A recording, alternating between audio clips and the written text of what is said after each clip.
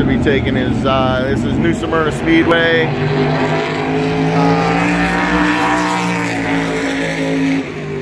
Uh, 2018 Speed Weeks. Comes my buddy right here. That's Austin Pickens. He's ripping it up in the LFR. Robbie Fuller car.